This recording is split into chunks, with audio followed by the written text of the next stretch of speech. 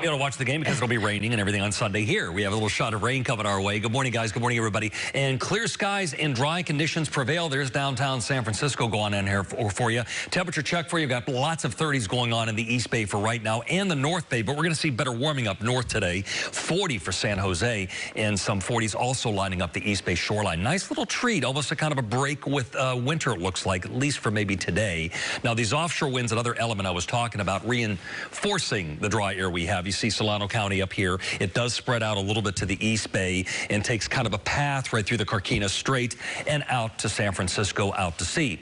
Uh, this is somewhat more contained than its uh, predecessor was. It won't be as potent, but it'll just kind of reinforce some of the drier air that we've had. So mostly sunny today, cool highs near 60s well inland. That should be plural 60s because we'll see maybe mid to upper 60s in a few selective spots.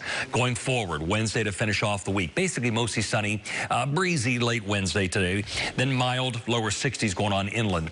Now for this weekend, let's keep some scattered clouds on your Saturday. Temperatures already correcting for this new event because it's a cold system, not just rain, but cold. So that's more traditional to our winter type storm systems. It doesn't have with it as much in the way of rain as our previous systems were, so we shouldn't see a lot of problems with it and just adding some more snow up to Tahoe while we're at it. 62 San Francisco, 64 for Oakland and San Jose. The bigger board is treated to some of those popping numbers like 68 for Santa Rosa.